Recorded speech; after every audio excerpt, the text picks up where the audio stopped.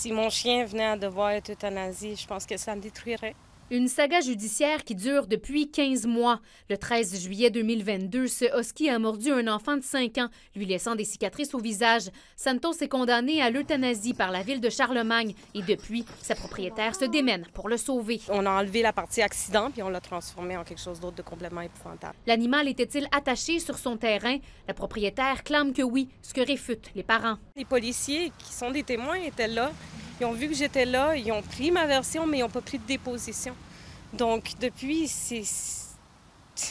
Qu'est-ce que je vous voulais je vous dise? J'ai bien beau donner ma version, personne n'écoute.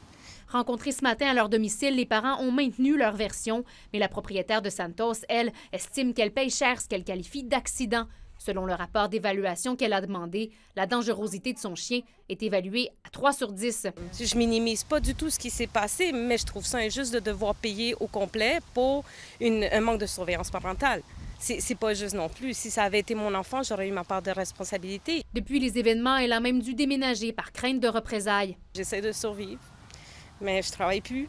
Je suis malade, je suis plus capable, j'ai les émotions en fleur de peau. Tout ce que je veux, c'est qu'il revienne en vie. La Ville est-elle dans son droit d'ordonner l'euthanasie d'un animal sans évaluation? Oui, nous dit cette experte en politique municipale.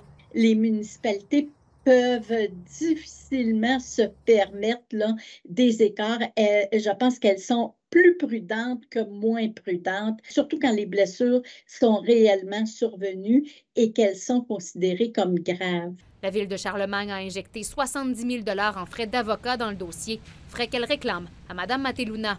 Le procès dans ce dossier est prévu sur trois jours à compter de lundi au palais de justice de Joliette.